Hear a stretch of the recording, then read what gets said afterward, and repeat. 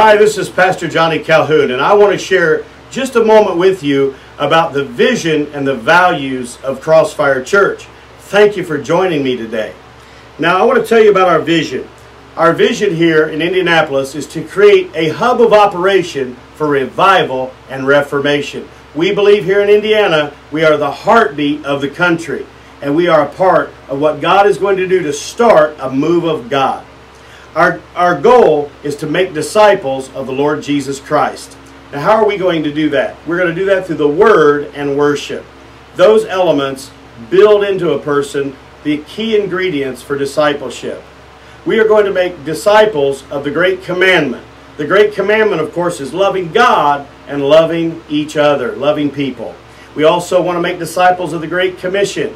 The Great Commission that Jesus gave his church. They say a great commitment to the Great Commission and the Great Commandment makes a great Christian.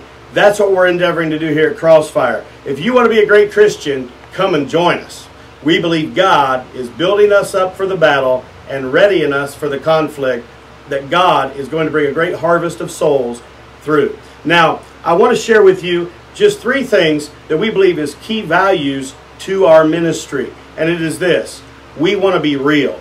In other words, we want to relate to people in a way that is honest and transparent, so that in turn, people will be honest and transparent with us. We want to come at people just as they are and just as we are and, and get to know one another. And, and again, just be genuine and just be transparent and real. Also, we also want to be relevant. The way we can minister to others is to share things in a way that they understand, that they can apply to their daily life. In other words, it's not just in Greek and Hebrew, but it's in a way that they can understand, apply to their daily life, and use on Monday through Friday.